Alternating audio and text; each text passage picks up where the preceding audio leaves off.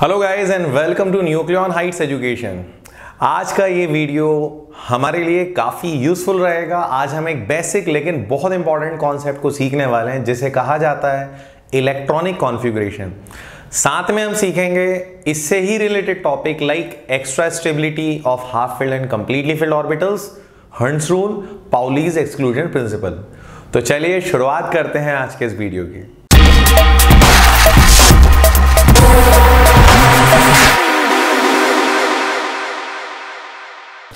तो दोस्तों, हम लोग इलेक्ट्रॉनिक कॉन्फ़िगरेशन जैसे इंपॉर्टेंट टॉपिक को स्टार्ट कर रहे हैं by using Aufbau principle Aufbau principle को हम एन प्लस एल रूल भी बोलते हैं। N principal quantum number l azimuthal quantum number सबसे पहले गाइज़ एक बात ध्यान रखना, अफबाव किसी का साइन किसी भी साइंटिस्ट का नाम नहीं है। Aufbau is a German word which means to build up build up का मतलब इंक्रीजिंग ऑर्डर तो इस प्रिंसिपल में इंक्रीजिंग ऑर्डर का यूज़ करना है। सबसे पहले तुम्हें वो ऑर्बिटल्स में इलेक्ट्रॉन रखना है जिनकी एनर्जी कम है।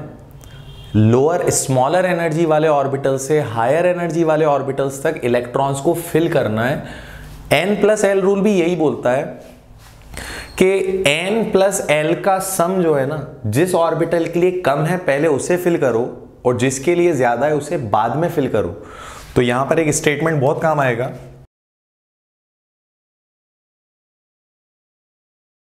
देखो, ये स्टेटमेंट यहाँ पर बहुत काम आएगा। Electrons are filled in the increasing order of energy remember increasing order ये इंक्रीजिंग ऑर्डर ज़रूर याद रखना। Increasing order of energy of orbitals और value of n plus l तो एन प्लस एल या एनर्जी के इंक्रीजिंग ऑर्डर में हम इलेक्ट्रॉन्स को फिल करते हैं कम एनर्जी वाले को पहले और हायर एनर्जी वाले को बाद में. इसका सीक्वेंस याद करना जनरली कई लोगों के लिए डिफ़िकल्ट हो जाता है. लेकिन मैं आपको एक बड़ी सिंपल सी ट्रिक बता रहा हूँ जिससे आपके लिए ये सीक्वेंस याद करना कोई मुश्किल नहीं रहेगा. देखो, बड़ी सिंपल सी ट्रिक है. सबसे पहले तुम नंबर्स लिख लो वन टू सेवन ठीक है? अब एक सीरीज़ आगे बनाओ ऊपर से एक नंबर कम करो, नीचे से एक नंबर करो, कम करो। तो ये सीरीज़ स्टार्ट होगी two three four five six एक और सीरीज़ बनाना है। फ़र्स्ट डिजिट और लास्ट डिजिट को हटा दो। क्या बचेगा? थ्री फोर फाइव एक और सीरीज़ बनाओ, जिसमें फ़र्स्ट और लास्ट डिजिट को हटा दो तो बचेगा सिर्फ़ फोर पहली सीरीज़ में सबके साथ एस लगा दो। सेकेंड सीरीज़ में सभी के साथ पी लगा दो। थर्ड में डी और लास्ट सीरीज़ में एफ़ लगा दो। S p d f four orbitals electron जब फिल करना स्टार्ट करूँ, सबसे पहले वन एस में करना। वन एस के बाद आ जाना टू एस में। टू एस के बाद two p and then three s remember two p then three s then इसके बाद three p and four s three p के बाद फोर एस आएगा। फिर आएगा three d four p and five s फिर four d five p and six s then 4f 5d 6p and seven s. मतलब जब हम इलेक्ट्रॉन फिल करना स्टार्ट करेंगे तो आप देख सकते हो सबसे पहले इलेक्ट्रॉन जाएगा 1s में 1s के बाद आएगा 2s 2s के बाद 2p 3s ये पूरा सीक्वेंस एक बार आप प्रॉपर तरीके से इसको देखना। हमने कैसे ये सीरीज़ बनाई है, इस सीरीज़ का सीक्वेंस में लिख भी रहा हूँ साइड में। सबसे पहले हमें स्मॉलर एनर्जी वाले ऑर्बिटल को लेंगे 1s को। 1s से ज़्यादा एनर्जी आती है 2s की तो 2s इसके बाद फिल करा जाएगा देन 3s 2s के बाद 2p then 3s 3p then 4s and 3d देखो गाइस वैसे 1s से लेके 3d तक मोस्ट ऑफ़ द स्टूडेंट्स को याद रहता है। बार बार ये सीरीज़ बना है, वो भी हमारे लिए प्रैक्टिकली पॉसिबल नहीं है। तो 1s से लेके 3d तक तो आप लोग दो तीन बार अभी एग्जाम्पल्स में करवाऊँगा, याद हो जाएगा। आफ्टर 3d याद करने में कुछ लोगों को, काफ़ी स्टूडेंट्स को प्रॉब्लम आती है, इसकी एक बिल्कुल सिंपल सी ट्रिक है। क्या ट्रिक है देखो। 1s से लेके 3d तक तुम लोगों ने लिखा प्रैक्टिस करी, याद हो गया। आफ्टर 3d तुम्हें लिखना है नंबर फोर फाइव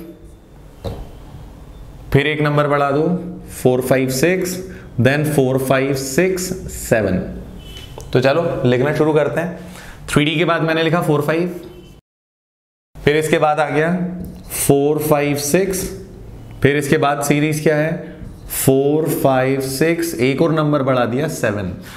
फोर जब फ़र्स्ट टाइम आया था तो एस लगा। अब जब फोर सेकेंड टाइम आएगा तो लगेगा उसमें पी तो ये हो गया four p orbital. Four p के बाद फाइव यहाँ पहली बार दिख रहा है तो एस लगाना है हमें फाइव एस। फिर उसके बाद ये आ जाएगा हमारे पास four d.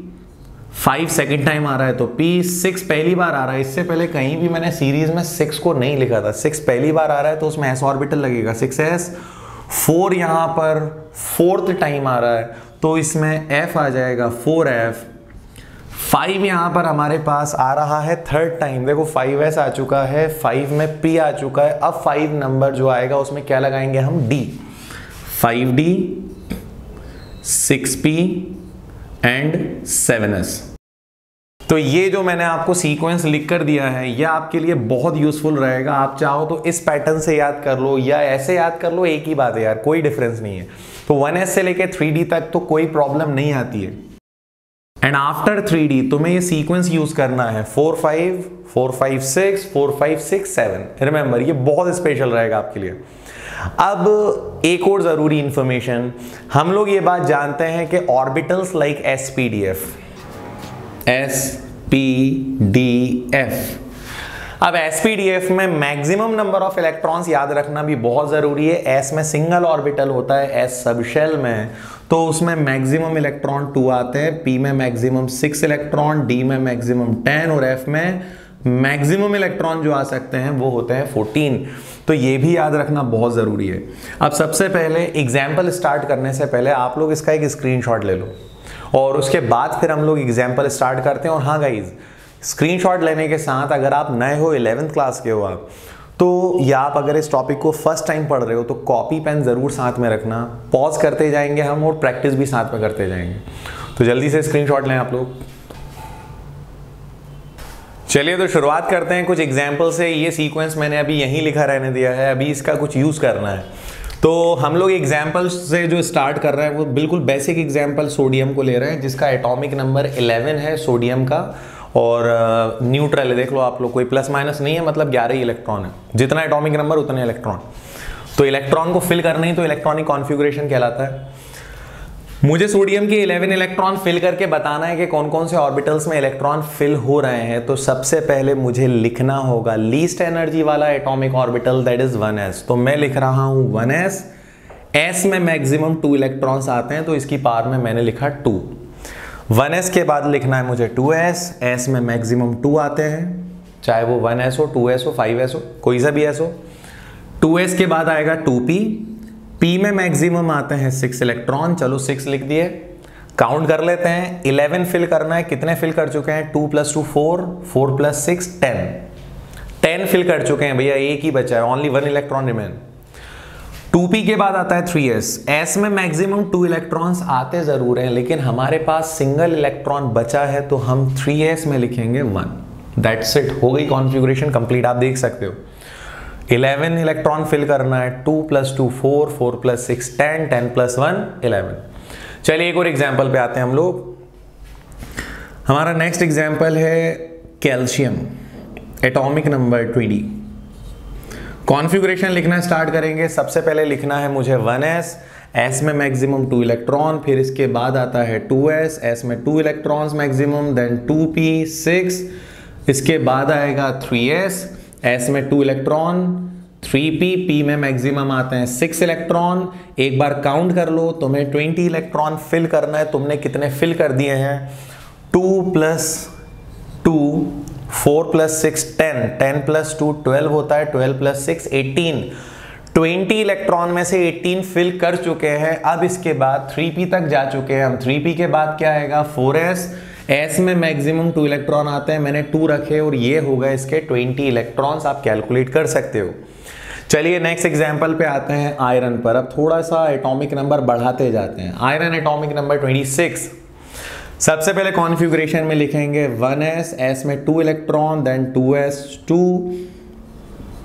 two p six two p के बाद क्या आएगा? Three s two three p six then four s two count कर लो एक बार. 26 में से कितने फिल कर लिए हैं? Two plus two four plus six ten ten plus two twelve twelve plus six eighteen eighteen plus two twenty बचे सिक्स इलेक्ट्रॉन डी में मैक्सिमम आते हैं. भैया, देखो फोर के बाद लिखना है थ्री पहले फोर के इलेक्ट्रॉन आएँगे, उसके बाद इलेक्ट्रॉन फिल करेंगे थ्री में. तो फोर के बाद मैंने लिखा three d twenty electron fill कर चुका हूँ. मेरे पास सिर्फ़ सिक्स बचे हैं. Only six electron remain d में मैक्सिमम टेन आते हैं, लेकिन सिक्स इलेक्ट्रॉन बचे हैं तो सिक्स लिख दो तो ये हो गया थ्री डी सिक्स गाइज़ आप लोग भी साथ में प्रैक्टिस करते चलना, अगर आप नए हो तो बहुत ज़रूरी है आपके लिए। चलिए एग्ज़ाम्पल करते हैं, हम next example Z N zinc atomic number thirty अब जिंक का कॉन्सेप्ट ये है जिंक में एटॉमिक नंबर थर्टी है। आप लोग अगर वीडियो पॉज करके खुद से करो तो बहुत अच्छा रहेगा ये। आई होप आप लोगों ने पॉज करके प्रैक्टिस करी होगी ट्राई करा होगा। मैं एक बार लिख कर बता देता हूँ। Zinc atomic number thirty one s two two s two two p six two p तक लिख दिया। टू पी के बाद क्या लिखना है मुझे? Three s two three p six four s two three d ten अगर आप कॉन्फ़िगरेशन देखोगे तो जिंक में आएगा लास्ट में four s two three d ten last electron d में जा रहा है। रिमेंबर ये डी ब्लॉक का मेंबर है ट्रांजिशन मेटल ट्रांजिशन एलिमेंट्स को बिलोंग करता है। आयरन तो प्योर ट्रांजिशन है। तो गाइज़ यहाँ तक तो ये आप लोगों ने नोट कर लिया है। आई होप इसे भी साथ में नोट करते जाओ। अभी हम और बड़ी कॉन्फ़िगरेशन पे आते जाएँगे। फ़िलहाल आप इसका स्क्रीनशॉट लो और इसे नोट करो। तो गाइज़ यहाँ पर फ़र्स्ट फोर एग्जाम्पल्स थ्री और फोर एग्जाम्पल्स के बाद मैं नेक्स्ट एग्ज़ाम्पल पे आता हूँ आयोडीन एटॉमिक नंबर 53 देखो, कुछ भी प्रॉब्लम नहीं है एटॉमिक नंबर कितने ही बड़ा कर देते हैं, ये सीक्वेंस मत भूलना तुम। सबसे पहले स्टार्ट करना है यहाँ पर 1s से तो ये आ जाएगा 1s2 then 2s2 2p6 2p के बाद क्या आना है? 3s2 3p6 4s2 3d10 देखो, d में अगर 10 है ना तो यहाँ तक तो 30 इलेक्ट्रॉन हो जाते हैं, आप कैलकुलेट कर सकते हो। 3d10 के बाद क्या आएगा? थ्री डी के बाद आएगा 4p 6 ये होगा 36 इलेक्ट्रॉन फोर पी के बाद आएगा 5s2 36 और 2 38 5s के बाद आएगा फोर डी तो फोर डी में मुझे टेन इलेक्ट्रॉन रखना है क्योंकि डी में मैक्सिमम टेन आते हैं। यहाँ तक 38 थे 38 प्लस 10 हो गए 48 4d के बाद क्या आएगा? 5p मेरे पास 48 इलेक्ट्रॉन ऑलरेडी फिल कर दिए मैंने। मुझे अब कितने फिल करना है? 53 में से 48 तो आ गए। बचे सिर्फ़ 5 इलेक्ट्रॉन तो वो 5 इलेक्ट्रॉन आ जाएँगे 5p में। दैट्स इट तो ये आयोडीन की कॉन्फ़िगरेशन है। और इस कॉन्फ्यूग्रेशन में ध्यान रहे लास्ट शेल है 5 फिफ्थ शेल है लास्ट ऑर्बिटल जो है, वो है 5p p ऑर्बिटल है मतलब p ब्लॉक को बिलोंग करता है आयोडीन तो गाइज़ ये बहुत इंपॉर्टेंट है और ध्यान रहे सीक्वेंस बता रहा हूँ मैं।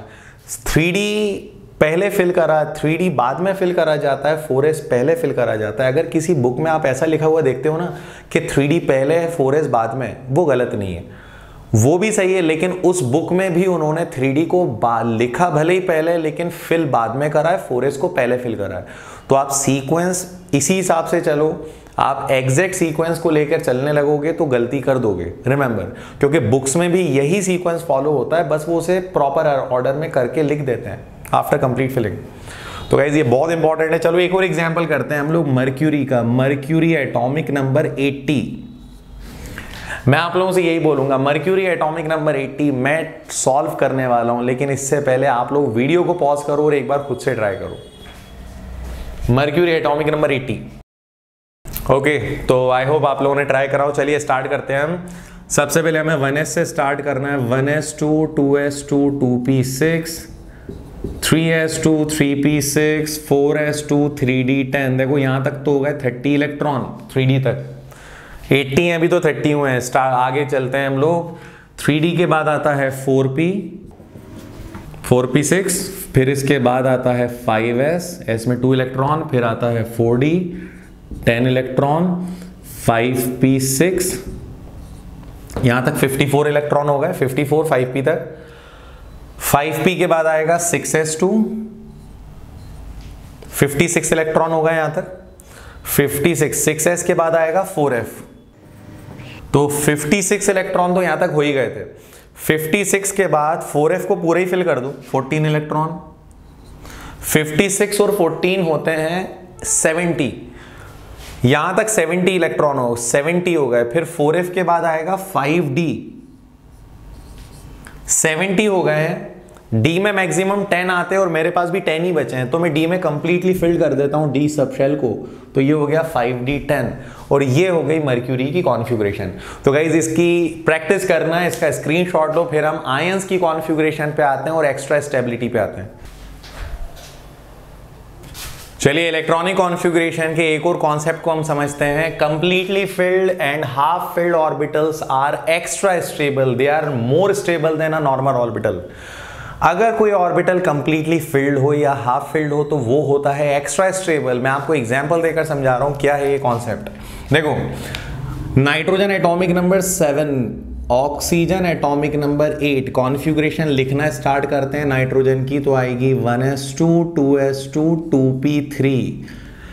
P orbital में मैक्सिमम सिक्स इलेक्ट्रॉन आते हैं, लेकिन सिक्स आएँगे तो एक्स्ट्रा स्टेबल है, या सिक्स का हाफ़ होगा तो एक्स्ट्रा स्टेबल है। यहाँ पी में थ्री इलेक्ट्रॉन है मतलब ये है एक्स्ट्रा स्टेबल। वहीं ऑक्सीजन की कॉन्फ़िगरेशन लिखेंगे। One s two two s two तो ये आएगा टू पी फोर ये नॉर्मल है। ये एक्स्ट्रा स्टेबल बिल्कुल भी नहीं है। यही रीजन है कि नाइट्रोजन की आयनाइजेशन एंथैल्पी ऑक्सीजन से बहुत ज़्यादा होती है, क्योंकि नाइट्रोजन होता है नाइट्रोजन के पास है एक्स्ट्रा स्टेबल ऑर्बिटल या एक्स्ट्रा स्टेबल कॉन्फ़िगरेशन अब हम कुछ डी ब्लॉक के मेंबर के कुछ केसेस देखते हैं जो बहुत स्पेशल हो जाते हैं। स्पेशली इन डी ब्लॉक जैसे अगर हम देखें क्रोमियम काफ़ी स्पेशल एग्ज़ाम्पल है, इस पर स्टार लगा रहा हूँ मैं। कॉपर ये भी काफ़ी स्पेशल एग्ज़ाम्पल है, इस पर भी स्टार लगा रहा हूँ डायरेक्ट एग्ज़ाम में आता है। तो क्रोमियम की कॉन्फ़िगरेशन जब हम लिखेंगे तो आएगा one s two two s two two p six three s two three p six four s two three d four होना चाहिए था, लेकिन नहीं होता, क्योंकि फोर एस का इलेक्ट्रॉन जाता है जम करके थ्री डी में। तो ये हो जाता है four s one three d five क्योंकि डी ऑर्बिटल डी में या तो टेन हो तो एक्स्ट्रा स्टेबल होगा या टेन का हाफ़ हो फाइव तो एक्स्ट्रा स्टेबल होगा. तो डी में फोर आ रहे थे. हमने फोर एस के इलेक्ट्रॉन को जम करके थ्री डी में शिफ्ट कर दिया. तो ये हो गया अब एक्स्ट्रा स्टेबल ये स्पेशल कैसे? और गाइज़ ये बात ध्यान रखना, ये ये कंडीशन डी ब्लॉक के मेंबर के साथ ही है. हम पी ब्लॉक में ये काम नहीं कर सकते हैं. डी ब्लॉक के मेंबर के साथ है क्योंकि इनका लास्ट डी और एस सबशेल्स जो हैं, उनकी एनर्जी काफ़ी कम होती है, काफ़ी बड़ा इक्वल एनर्जी होती है तो क्लोज होते हैं। अगर डी में फोर दिखें तो इसको फाइव कर देना। अगर डी में नाइन दिखें तो टेन कर देना, उसके अलावा कभी जंप मत कराना शिफ्ट मत कराना।